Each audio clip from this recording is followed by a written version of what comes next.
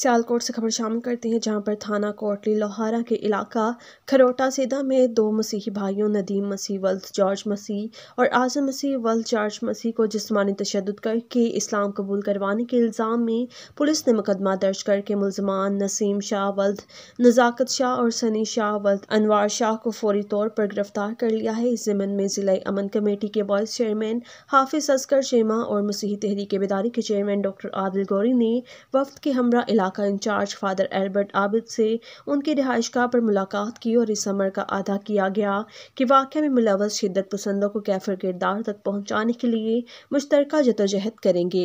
मज़हब की आड़ में किसी को सियालकोट का अमन ख़राब नहीं करने देंगे। सियालकोट में जिसमानी तशद करके दो मसीही नौजवानों को इस्लाम कबूल करने के लिए मजबूर करने वाले मुलजमान नसीम शाह और सनी शाह के खिलाफ मुकदमा दर्ज मुलजमान गिरफ़्तार। क्रिश्चन अवेयरनेस मूवमेंट का वाक़ पर इजहार अफसोस।